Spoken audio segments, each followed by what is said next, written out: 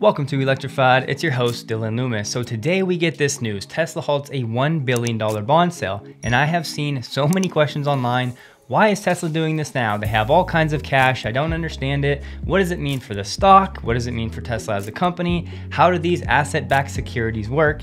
So in this video, we are going to nerd out, but it's always a good day to learn something new. And then at the end, we'll race through a few quick news items. So maybe pause the video, grab a coffee or a tea, and let's dive into this together. First, you need to understand what an asset-backed security is and you need to understand the term securitization. This Tesla bond sale will be backed or collateralized by Tesla contracts for leased vehicles. So Tesla is going to package a pool of these lease contracts that they've originated over a period of time. These contracts will often be transferred to an ABS, once again, asset-backed security, trust, which becomes the home for these contracts. The trust will use proceeds from the bond sale to actually pay Tesla for the contracts that were transferred into the trust. The process of bundling these contracts and putting them in a trust is called securitization. So each month, Tesla customers make payments on their leases.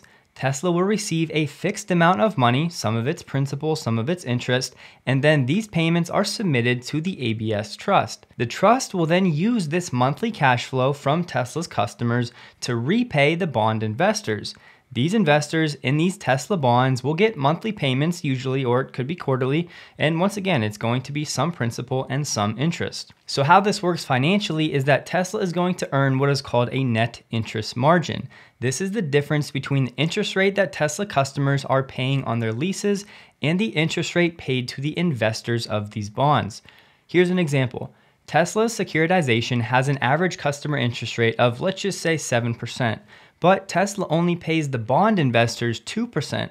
So in this case, Tesla will still earn a 5% net interest margin on the loans before covering expenses and fees for the process of securitizing these contracts. This process can also lock in net interest margins for Tesla for the life of the loans, which would also remove exposure to any changes in interest rates for a specific loan if it has variable rates. These auto ABS loans are a huge deal and they make up over half of the entire ABS market. So this is something that many automakers do.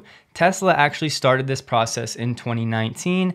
And in 2020, Tesla did an ABS deal with coupons of 60 basis points or 0.6%. And they did one in 2019 that was at a 2% coupon. Tesla pays lower rates because they have high quality lessees. Tesla customers are typically affluent and there's a growing confidence in Tesla's ABS securities. More demand in these bonds leads to higher prices, which will mean lower yields that Tesla has to pay. This confidence is growing in Tesla because they're getting more resale value data in the used car market. You have to remember residual value is a key metric in the contracts and all of the finances for how these contract lease deals work. Additionally, as Tesla becomes less reliant on auto credits with stronger cash flows that will reduce the ABS risk, but the biggest factor here in these deals is actually going to be the residual value risk for the investors. Residual value risk for Tesla is actually quite simple. Just think of a resale value guarantee. Tesla has offered this historically on some of its leases. We've covered this more in depth in a previous video.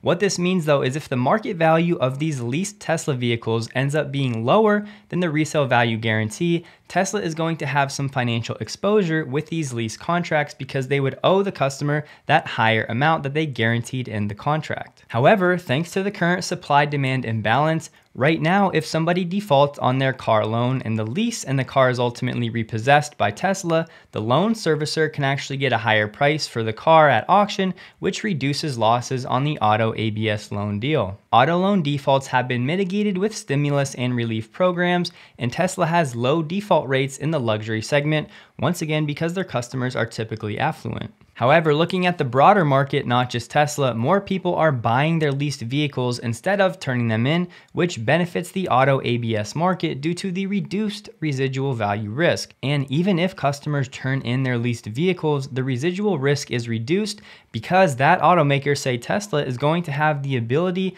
to then sell those cars at higher prices, which generates residual gain for the auto ABS lease deals. There were also many people on Twitter assuming that Tesla is just waiting to be bumped to investment grade.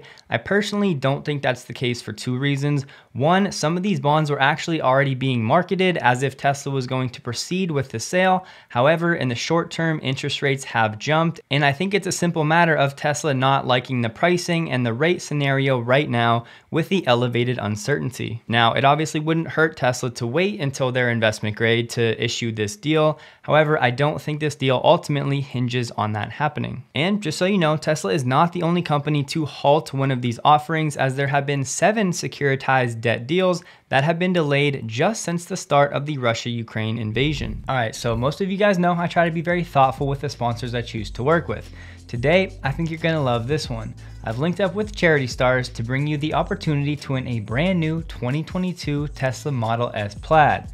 Yes, you heard that right, an opportunity to win a dream car and to support a charity in the process. This go round, Charity Stars is raising money for One Tree Planted, who is fighting against deforestation by planting trees. And while I think about it, we should probably tell the environmentalists at Giga Berlin about this charity. To enter, just head to charitystars.com slash electrified100 and coupon code electrified100 will be automatically applied at checkout to get you 100 free entries. Just choose your donation level, enter a minimal amount of information, click donate, and zoom, you're in. As usual, taxes and shipping are included for United States winners, and this is a global sweepstakes. You guys know the deal with the Model S Plaid, the quickest accelerating car in production today at 1.99 seconds 0 to 60, 1020 horsepower, and don't forget about the backseat entertainment for your passengers. Look, the simple truth is a lot of us will never purchase a six figure vehicle, but Charity Stars is giving you the opportunity to own this bad boy and you can support one tree planted in the process charitystars.com slash electrified100, coupon code electrified100, get your free entries, and one more thing, if you win, I get to borrow it for a weekend. So that's a bit about how these work, but now let's talk about why Tesla would do this. As we know, Tesla does not have to do it once again as evidenced by delaying this sale. We do know that Tesla is expanding quickly and they spend about $6.5 billion in capex in 2021, and we can assume a similar amount for this year 2022. Tesla has about $18 billion in cash on hand, and Tesla generated $2.7 billion of free cash flow in quarter four. So if you annualize that very conservatively, that would be $8 billion in free cash flow generated after capex or capital expenditures for 2022. And realistically, that number will probably be over $10 billion.